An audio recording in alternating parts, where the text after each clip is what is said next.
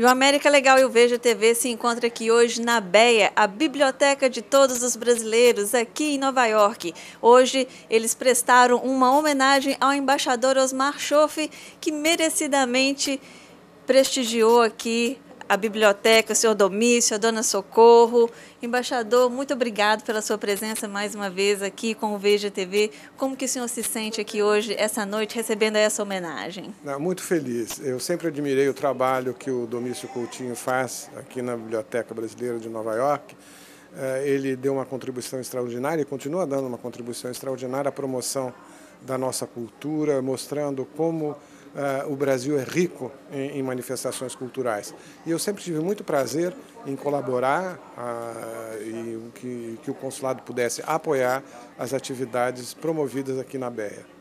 Bom, eu tenho muito que agradecer ao senhor. A gente teve o prazer, a oportunidade de acompanhar o seu trabalho. O senhor sempre presente em todos os eventos brasileiros. Agora a gente está vendo o Brasil melhorando. Como que, como que o senhor faz uma análise desses, desse tempo que o senhor ficou aqui e de como que está o Brasil?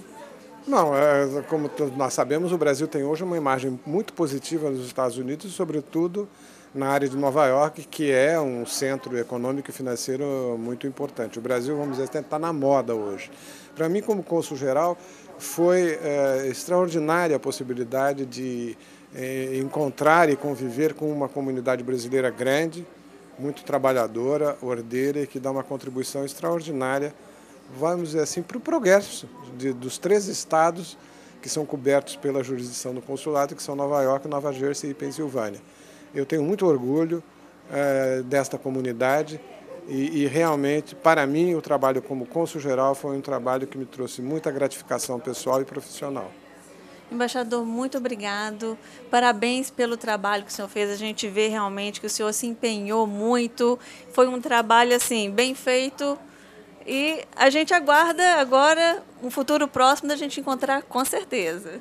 Será sempre um prazer para mim estar com vocês aqui em Nova York. E obrigado a Veja TV e América Legal. Oh, obrigada.